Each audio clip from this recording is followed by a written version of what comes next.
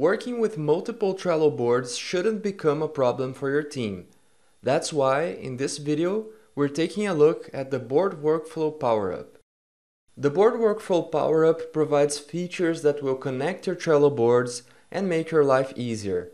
It has helped many teams to structure their work information in an organized way to save time. For example, let's say we have a personal board where our tasks are planned and then we start planning a project where many people will collaborate. It may be unclear if the tasks assigned to us should be in the personal board, in the project board, or both. If we decided to create cards in both boards, it would be very time consuming to keep both places updated, not to mention the risk of forgetting to make changes in both boards. But the Board Workflow Power-Up provides a simple solution for this.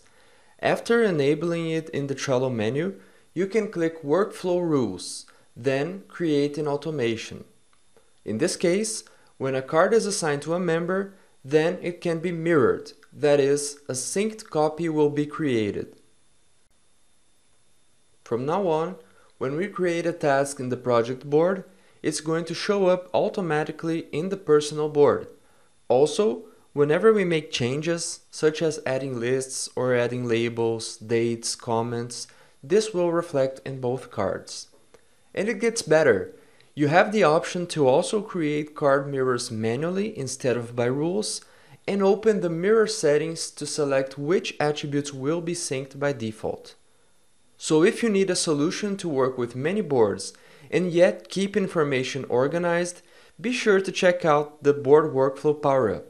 You can start a free trial at placker.com or by enabling it in your Trello board.